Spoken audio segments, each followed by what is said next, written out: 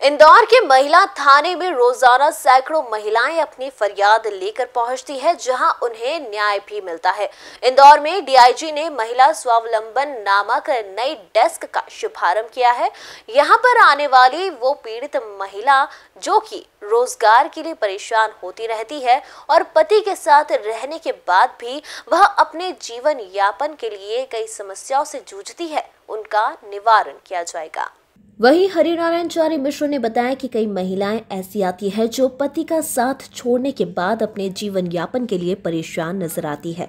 इस डेस्क के माध्यम से लगभग कई महिलाओं को रोज़गार भी मिल रहा है। वहीं जो महिला लंबे समय से परेशान हो रही थी या घरेलू हिंसा से पीड़ित थी तो उन्हें पति द्वारा छोड़ दिया गया था, जिसके बाद वो अब अपने पैरों पर खड़ी हो गई है और उन्हें गुजर बसर करने के लिए अब किसी पर आश्वत नहीं रहना पड़ेगा। और वो खुद स्वावलंबी बन चुकी है। हालाँकि शहर ही नहीं प्रदेश में पहली बार इस तरह की पहल की गई है जहाँ पीड़ित महिलाओं को न्याय के साथ रोज़गार मिल रहा है। के रूप में स्वागत करने का thank you so much sir कुछ कार्टून वाले मास्क उनको मिल सके जिससे वो आड़ित महिलाएँ हैं वे किस तरह से उनको कोई भी, किसी भी तरह से मदद मिल सके।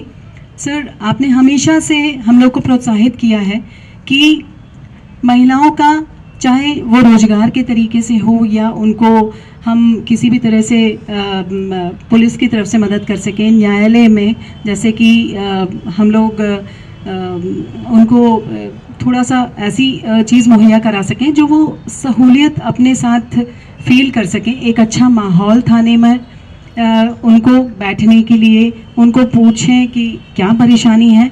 हम लोगों ने इसी तारतम्य में सर सोचा कि क्यों ना ऐसी महिलाएँ जो वाकई प्रताड़ित रहती हैं, कहीं ना कहीं या तो वे स्वयं खुद ही ये सोचती हैं कि मैं इतना ज़्यादा परेशान हो गई।